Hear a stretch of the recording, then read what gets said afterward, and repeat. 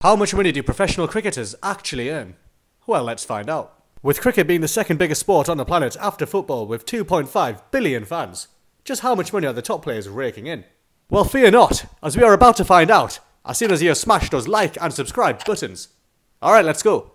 Cricket is predominantly an internationally contested affair, as opposed to football, which is domestic for most of the year. Could explain why cricketers generally get paid less than footballers. However, national cricket boards do pay their players relatively well for the year. For example, a top category Indian cricketer such as Rohit Sharma, for example, will earn a yearly salary of 850,000 US dollars. An Indian category C player such as Umesh Yadav will earn a yearly salary of 375,000 US dollars. England, however, do it slightly differently. This is what they do. A player with a test contract can make a maximum of 650k a year. A player with a white ball contract can make a maximum of 300k a year. The ECB also hand out match fees, which consists of the following 18k for playing a test match, 10k for playing an ODI, and 5k for playing a T20. Not too shabby. But there is one place in particular where cricketers can pick up a lot of cash. Franchise leagues. More specifically, the IPL. For just one season, Benjamin Stokes was paid 1.8 million US dollars.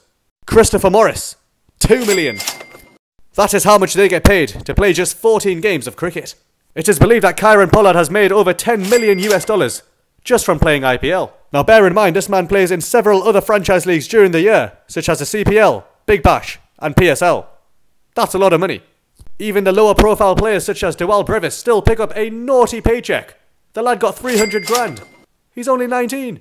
In fact, the lowest salary paid to players in the IPL 2022 was 25,000 US dollars. Now let's talk about the biggest moneymaker in the sport Virat Kohli. Virat Kohli. The man is estimated to make $26 million a year, but only gets an annual salary of 2 million. How is this possible, you may ask?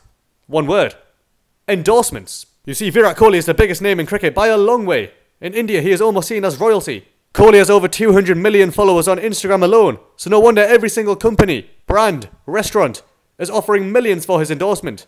As well as being partnered with massive brands such as Puma, Kohli also has his own line of gyms in India called Chisel. Sponsorships are very common amongst all professional cricketers. Speaking of sponsors, by the way, I may just have one of my own. Although I'm not a professional cricketer just yet, do check out Buffalo Cricket, link in the description. Thank you. As cricket matches are broadcasted on TV and therefore seen by millions, cricket companies will pay players healthy amounts to get their brand seen by massive audiences. But exactly how much money do these brands pay the cricketers? Joe Root is estimated to earn around $200,000 a year from New Balance. Virat Kohli makes around 1.5 million a year from MRF. But poor Shubman Gilly doesn't get a single penny. I hope that video cleared up just how much these players are making at the top level. If you did enjoy, please check out some of the other videos I've done on my channel too, and it would mean the world if you could smash that subscribe button and leave a like and a comment. Thank you.